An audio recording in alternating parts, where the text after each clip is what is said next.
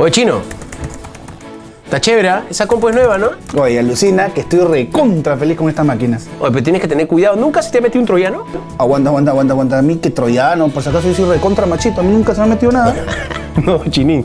Un troyano es un virus que se mete a tu compu y se borra, te come todititito tus archivos. ¿En serio? Me, me mato, me muero, me muero si me pasa eso. Contrata Seguridad Total, que viene con un antivirus bien potente ¿ah? y te protege la compu pues, de estos virus que se comen tus archivos, videos, canciones, todo lo que tiene tu compu. Oye, gran dato, Adolfito. Ahora mismo contrato seguridad total, ¿no? Y protejo mi máquina, pero todos los troyanos, todos estos virus.